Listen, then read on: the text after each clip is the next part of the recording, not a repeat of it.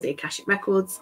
So again, for this, we're only having two intakes for this year. So this is for you if you want to learn how to read your Akashic, your own Akashic Records, and to use the Akashic Records to help you with your decision making, you know, in life and in business.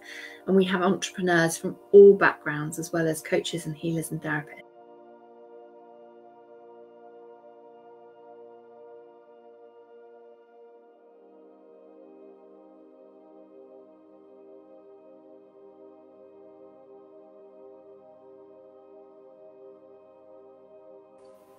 Which is such an honor. It's such sacred work.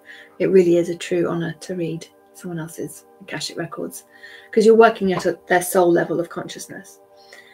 And when you do all three levels, you can then offer this as a service in your business. So, again, creating an opportunity to serve more people and to serve your current clients in an additional way as well.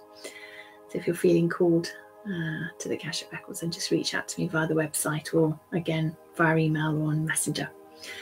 And we'll take it from there.